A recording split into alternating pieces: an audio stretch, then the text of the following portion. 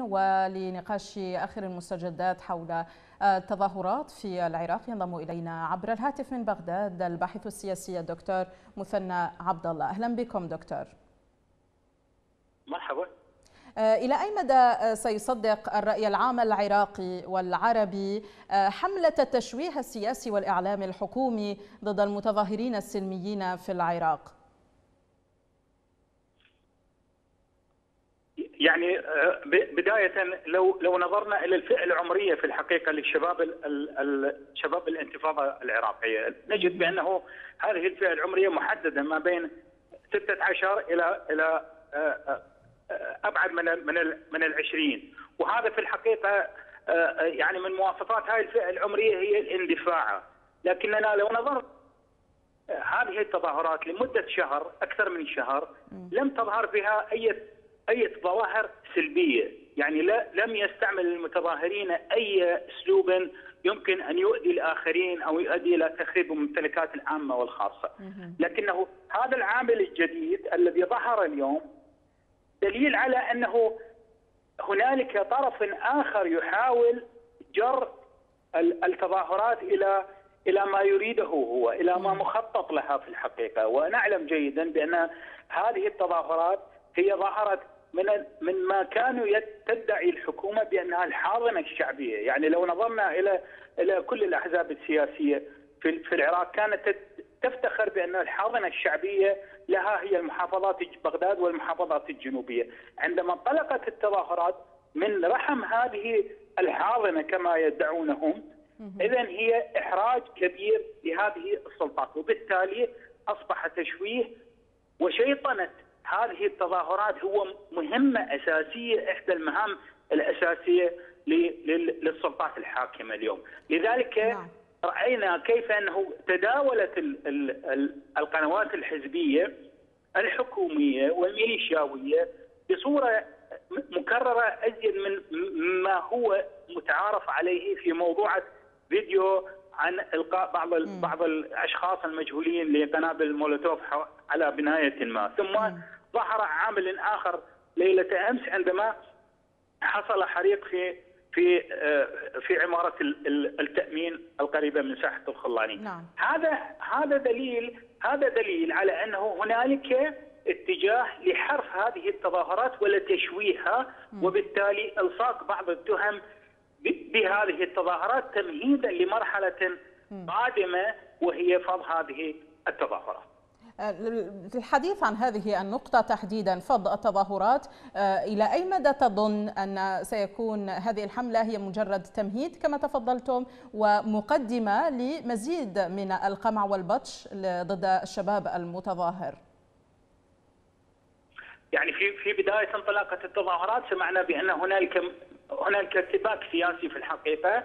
لم تظهر هنالك صفات غير طبيعية على هذه التظاهرات، لم يطلق أحد من وحتى رئيس الوزراء تعامل معها بهدوء لكننا ولاحظنا جيدا لو قارنا خطاب رئيس الوزراء الأول والثاني مع مع تصريحاته التالية نجد بأن هنالك تحول في الخطاب لهرم السلطة لقمه هرم السلطة السياسية، هذا التحول في الخطاب في الحقيقة جاء نتيجة عوامل داخلية أحرجت الحكومة العراقية لأنه هذا هؤلاء الشباب هم الذين كانوا تظاهروا بسلمية وحافظوا على الممتلكات العامة والخاصة طيلة فترة فترة شهر.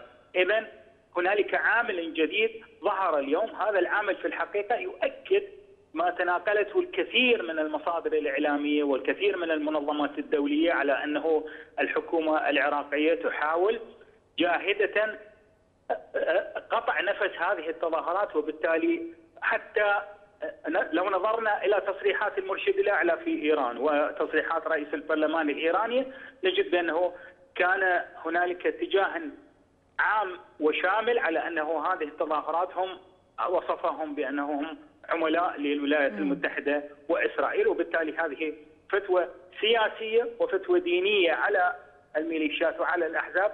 التي تقلد هذا المرشد الأعلى عليها فرض هذه نعم. التظاهرات دكتور حملة الحقيقة نعم دكتور حملة تشويه الثورة والشباب الذي خرج في هذه الاعتصامات والتظاهرات هل يعني ذلك أنه أن هذه الحملة تأتي بعد فشل الخيار الأمني لقمع وإجهاض هذه الثورة؟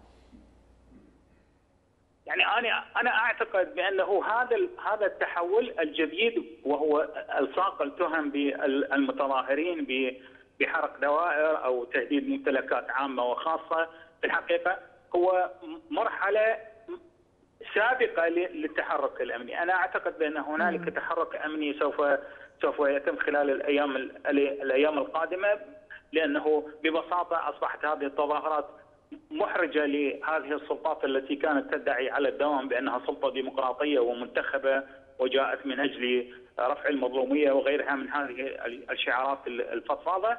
هذا إحراج كبير لها وبالتالي هي تحاول ان أن تستعيد المبادرة بعد أن فقدت المبادرة. في الحقيقة لمدة شهر كامل السلطات كلها كانت في حالة ارتباك سياسي كبير وفقدت المبادرة حتى ردود فعلها تجاه المتظاهرين كانت متعارضة، لو نظرنا إلى الطائف السياسي بعض الطائف يحاول التوصل إلى صيغة حل مع المتظاهرين، آخر يتهمهم بأنهم هم عملاء وآخر يدعو إلى ضرورة فرض هذه التظاهرات، هنالك اتجاه جديد في الحقيقة هو أنا أعتقد سوف تلحقه اتجاهات أخرى في الجانب الأمني خصوصا. الحديث أيضا عن ردود الفعل يقودنا للتساؤل عن ردود فعل المواطنين في باقي المحافظات، هل سيتأثرون بمحاولة تشويه هذه الثورة ويخرجون أكثر؟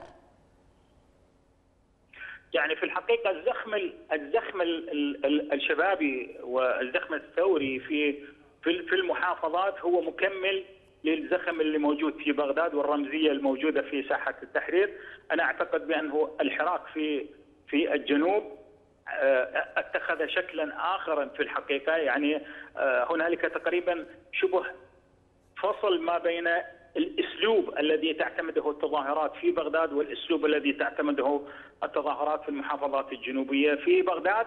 آه، يحافظ المتظاهرين على موضوعة الرمزية في الحقيقة وحتى آه، آه، رمزية المكان في ساحة التحرير وأطلاق أسماء تشير إلى رمزيات في في في الدين الإسلامي إلى إلى إلى البناية التي يتمركزون فيها وبالتالي في في المحافظات الجنوبية في الحقيقة هنالك اتجاه عام يتساوى مع الظلم الكبير الذي تتعرض له المحافظات الجنوبية، يعني الحراك الشعبي في المحافظات الجنوبية يأخذ شكلا أشد في الحقيقة من من باقي الأماكن لطبيعة المنطقة العلاقات الاجتماعية ولطبيعة الظلم الكبير الواقع في في المحافظات الجنوبية خصوصا. شكرا جزيلا لكم الباحث السياسي دكتور مثنى عبد الله كنتم معنا عبر الهاتف من بغداد.